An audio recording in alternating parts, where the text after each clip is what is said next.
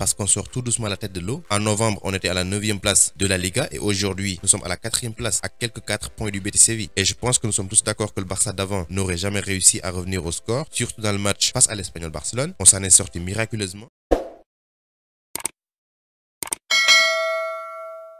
Alors, chers amis, ravi de vous retrouver pour une nouvelle vidéo, toujours pour le meilleur du Barça. Donc, les gars, vidéo d'avant-match entre Barcelone et le FC Valence. Après le nul face à Naples en Europa League, le Barça va se déplacer donc ce dimanche à Mestalia pour y affronter l'ancien club de Ferran Torres. Et le concernant, on va en parler dans cette vidéo parce que ça commence à déborder et ça fuit de partout. Il s'agit donc de la 25e journée et il faut gagner, c'est la règle maintenant. Gagner tous les matchs qui restent pour être assuré de se qualifier sans pour autant compter sur l'Europa League pour la prochaine Ligue des Champions. Qu'est-ce qu'il faut savoir dans ce match? Qu'est-ce qui nous attend face à Valence Et à la fin de la vidéo, comme toujours, mon 11 parfait, l'intro et on verra tous l'ensemble.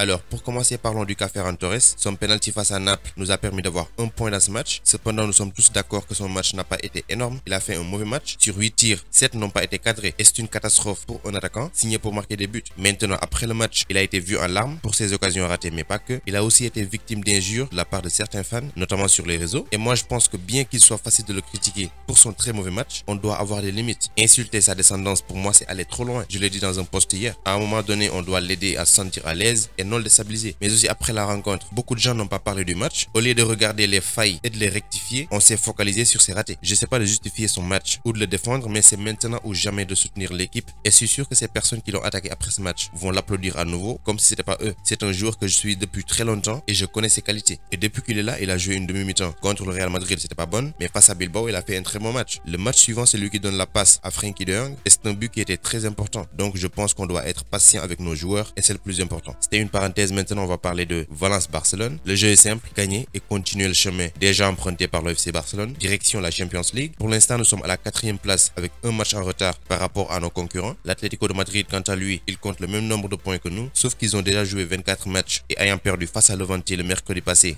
ça donne l'avantage au Barça. Et je pense que cette fois, l'avantage ne sera pas gâché. Donc pour moi, le plus important, c'est de gagner face à Valence d'abord et les rencontres qui vont suivre, parce qu'on n'a plus droit à l'erreur. Et le moindre faut pas nous sera fatal. Le Betis actuel troisième avec 4 points d'avance sur le Barça va jouer son match après celui du Barça. Donc remporter ce match face à Valence est un moyen de leur mettre la pression parce que l'écart sera réduit de moins 1 en attendant leur match. Ils vont jouer face à Mallorca à 17h GMT je pense. Pour Valence, c'est les actuels 12e du championnat avec une saison loin d'être parfaite. 8 défaites, 9 matchs nuls et 7 victoires en 24 matchs. Et c'est une équipe qui connaît depuis l'année dernière des difficultés sportives et financières. Ils ont également connu des départs très importants. Dani Parejo, Geoffrey Kondogbia, etc.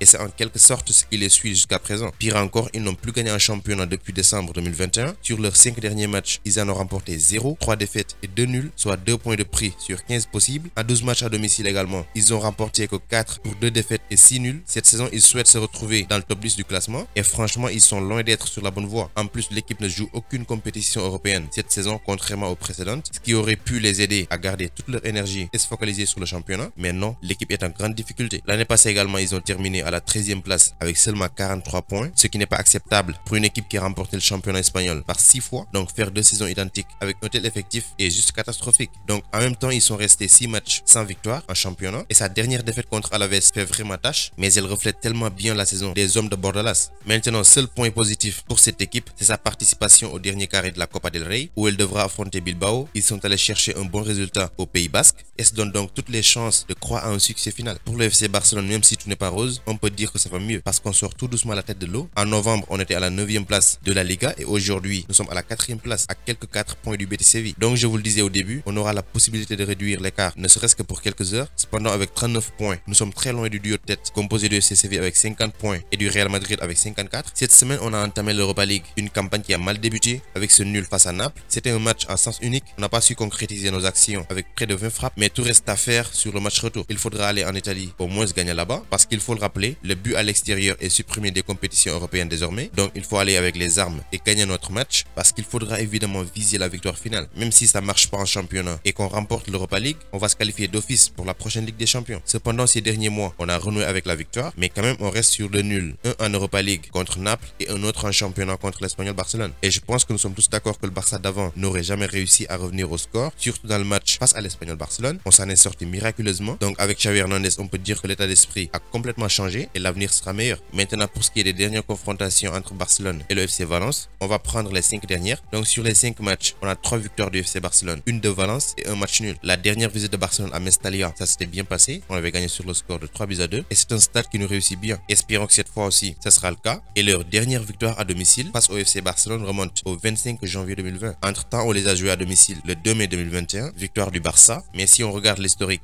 Valence à domicile face à Barcelone, ça se passe plutôt bien. Maintenant, avec une défense qui manque d'éléments, on peut s'attendre à ce que Xavi nous mette en place une formation en 3-5-2. Oscar Minguesa et Garcia seront certainement dans le 11 de départ. En tant que tel, Mika Marmol de l'équipe B, peut-être vous le connaissez pas, mais j'ai déjà fait une vidéo sur lui, pourrait intégrer l'équipe en défense parce qu'il a une capacité à porter le ballon et il peut jouer en largeur. Ter Stegen va continuer certainement dans les buts, mais également on peut s'attendre à ce que Adama Traoré joue en tant qu'arrière droit. Jordi Alba quant à lui pourrait être dans une capacité similaire sur le côté gauche. Et aussi on pourrait avoir Sergio Busquets, il a débuté sur le banc face à Naples et très certainement il sera dans le 11 de départ face au FC Valence et avec une défense à 3 derrière lui, il sera une menace pour l'adversaire. Il sera donc probablement associé à Pedri et Frenkie de lui qui est sorti en seconde période face à Naples remplacé par Busquets. Il va donc débuter à la place de Nico et Pablo Gavi. Je termine maintenant avec mon 11 parfait. Ce sera un peu compliqué avec les absences de Gérard Piqué suspendu, Araujo incertain, Langlais incertain, Umtiti blessé. Du coup, on a que Garcia et Minguesa qui sont à 100% pour jouer en défense centrale. Et comme je le dis toujours, c'est pas le meilleur duo. Donc dans les buts, Marc-André Ter Stegen. En défense centrale, obligé de mettre Garcia, Minguesa. Au poste derrière gauche, Jordi Alba. À droite, j'y mettrai Serginho Dest parce que Alves il sera suspendu pour son deuxième match. Au milieu de terrain, je reprends le même milieu de terrain qui a commencé face à Naples, De Jong Pedri, avec seulement Gavi qui remplace Nico. En attaque, confiance à Traoré, Aubameyang et Ferran Torres. Donc sans oublier que sur le banc, on aura des joueurs très importants tels que Luc de Jong, Martin Breswet qui est disponible et les deux peuvent être des atouts majeurs pour Xavi Hernandez et le Barça. Dites-moi ce que vous en pensez dans les commentaires et on en discute. Donc c'était tout pour cette vidéo. Merci de l'avoir regardé jusqu'à sa fin. Continuez à vous abonner à la chaîne mais n'oubliez pas d'activer la cloche de notification. Vous êtes les meilleurs. Ciao, à bientôt.